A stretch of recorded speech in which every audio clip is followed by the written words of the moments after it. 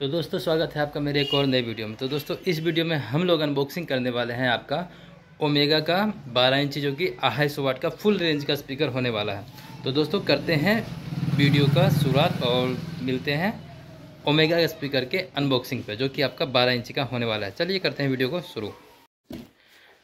तो दोस्तों, यहाँ पे कुछ इस टाइप से इसका पैकिंग आ जाता है और करते हैं वीडियो को शुरू। करते हैं इसकी अनबॉक्सिंग तो यहाँ पे दोस्तों, अपना निकल रहा है ओमेगा जो कि देख सकते हो दोस्तों, बिल्कुल जनरली नॉर्मल पैकिंग के साथ आता है।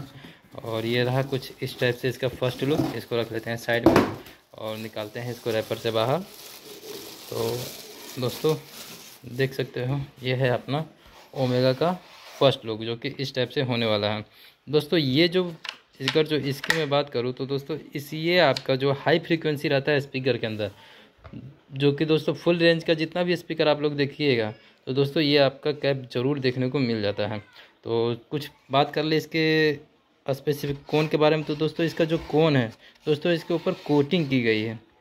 जैसा कि देख सकते हो बिल्कुल साइनी टाइप का है और इसका जो रिंग दोस्तों देख सकते हो आप। और इसके जो दोस्तों पेज कसने के लिए यहाँ पे जो दे रखे हैं दो दो स्लॉट दो दो स्लॉट दो दो स्लॉट आपका इस टाइप से हो जाता है।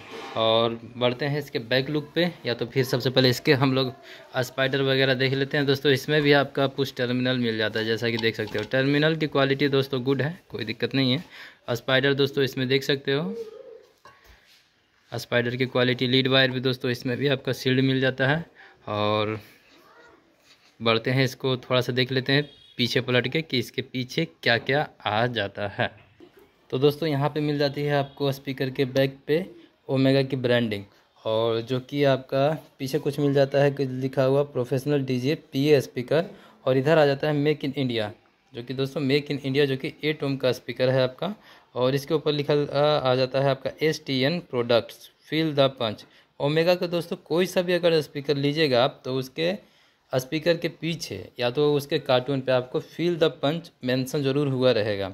तो और बाकी इसके ऊपर कुछ नहीं लिखा हुआ है दोस्तों, बस थोड़ा सा है ओमेगा साउंड इक्विपमेंट की तरफ़ से दोस्तों ये स्पीकर आता है और दोस्तों इसमें कुछ खास नहीं है, जैसा कि देख सकते हो। और बाकी दोस्तों किसी को भी अगर जो टेस्टिंग चाहिए तो दोस्तों टेस्टिंग के लिए कमेंट ज़रूर करें, उसके बाद ही मैं इन सब स्पीकर की टेस्टिंग और प्राइस आपको ज़रूर बता दूँगा।